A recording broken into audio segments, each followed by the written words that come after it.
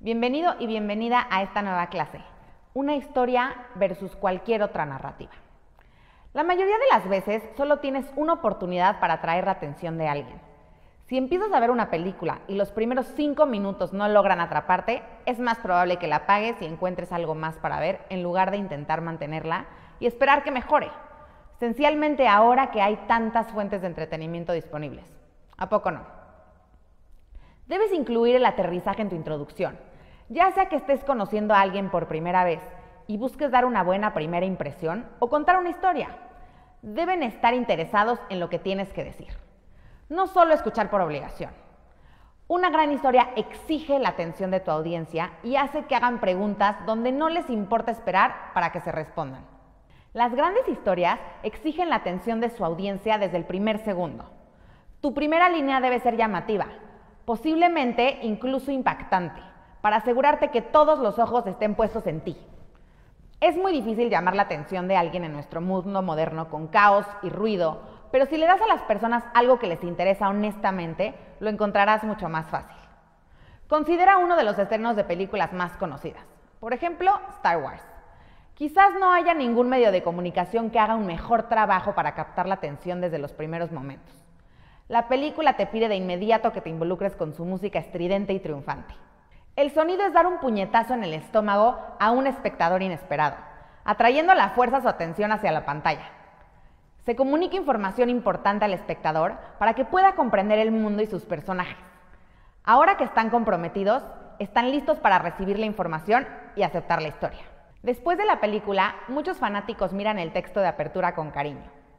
Tal vez porque atrajo su atención de manera muy eficiente hacia la pantalla y les permitió sumergirse en la historia. Esto es lo que debería lograr una gran apertura.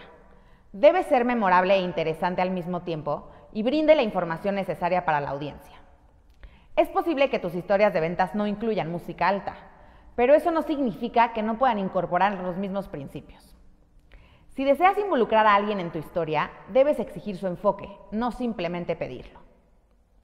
Una buena introducción también hace que la audiencia haga preguntas. No es suficiente simplemente decirle a alguien lo que sucedió. Deberían querer saber activamente cómo se desarrolla la historia.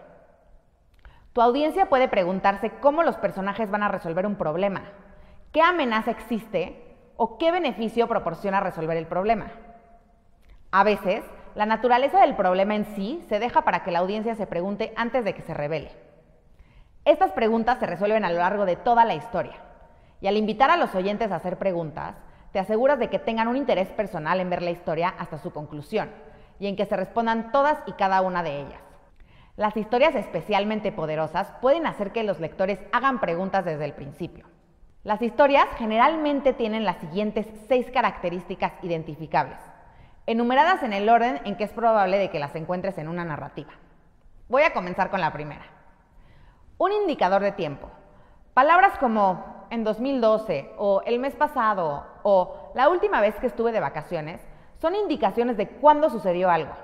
Y dado que en una historia algo iba a suceder, estos indicadores de tiempo son una pista de que algo está a punto de suceder.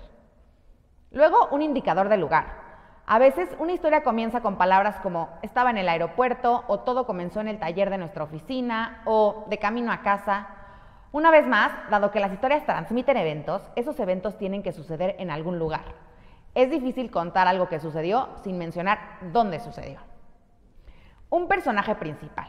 Esto debería ser obvio, pero como se discutió anteriormente, mucho de lo que pasa por una historia en esos días son cosas como declaraciones o puntos de conversación que no tienen ningún personaje. Para que una narrativa sea una historia, tiene que haber al menos un personaje y por lo general hay más. En el contexto de las historias de ventas, el personaje casi siempre es una persona, pero podría ser una empresa o incluso una marca. Después, un obstáculo. Este es el villano de la historia.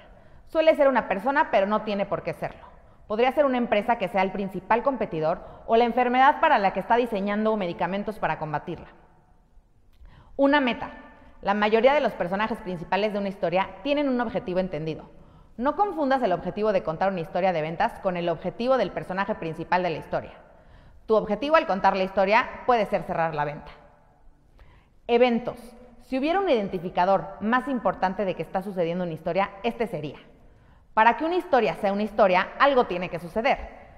Las declaraciones sobre las increíbles capacidades de tu producto o tu compromiso con el servicio, o incluso los testimonios sobre lo increíble que es tu empresa, generalmente esas no son historias porque no transmiten eventos. No pasa nada en ellos, son solo la opinión de alguien sobre algo. Si no pasa nada, no es una historia. Este tipo de narrativas pueden ser muy convincentes y efectivas y son parte esencial de la herramienta de cualquier vendedor, pero no son historias. Entonces, platicaremos en la siguiente clase cómo sin historia no puede haber una venta. Nos vemos.